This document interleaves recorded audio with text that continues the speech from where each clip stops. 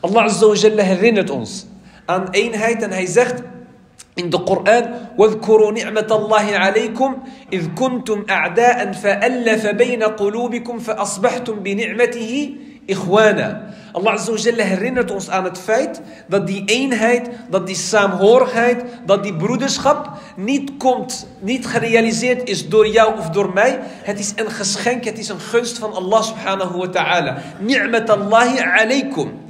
Het is een gunst voor jullie en aan jullie geschonken. Waarom? Want daardoor worden jullie als umma sterker. Daardoor kunnen jullie als gemeenschap vooruitkomen. Daardoor kunnen jullie als, als umma verder ontwikkelen. Juist door die eenheid die Allah Azza ons heeft gegeven. إذ kuntum en jullie waren voorheen zoals, in het geval, zoals het geval was van Oost en Khazraj, twee stammen in de tijd van de profeet. Die hadden, die hadden jarenlang ruzie. Sterker nog, ze hadden zelfs oorlogen onderling. De een doodt de ander.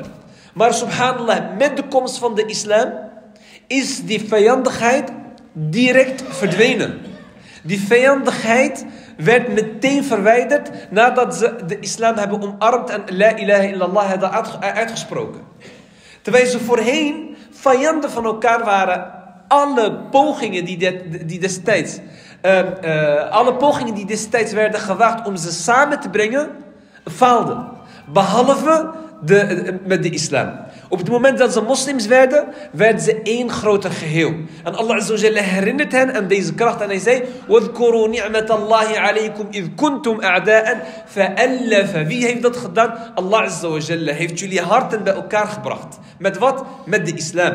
فَأَلَّفَ بَيْنَ قُلُوبِكُمْ فَأَصْبَحْتُمْ بِنِعْمَتِهِ En jullie zijn met de gunst van Allah, ikhwana. Jullie zijn broeders van elkaar geworden.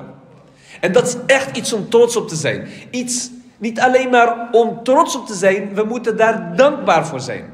En wij moeten de verantwoordelijkheid dragen om daarover te waken, dat we dat gaan beschermen. Want een van de zaken die wij doen als het gaat om de gunst die Allah Azza ons heeft gegeven, is dat we erover gaan waken. Dat we het gaan beschermen. Dat we, dat we het als iets kostbaars gaan beschouwen. Dat er niemand, dat we niemand toelaten om tussen ons om tussen ons te komen. Dat we dat ook niet accepteren. Ongeacht de verschillen die wij als individuen of als groepen kunnen hebben. Dat we het niet toelaten dat iemand tussen ons komt, waardoor we elkaar slecht gaan behandelen. Of slecht gaan bejegenen. Of over elkaar gaan praten. Of over elkaar gaan roddelen. Of elkaar onrecht aandoen, op welke manier dan ook. Want die broederschap en saamhorigheid is een geschenk van Allah subhanahu wa ta'ala.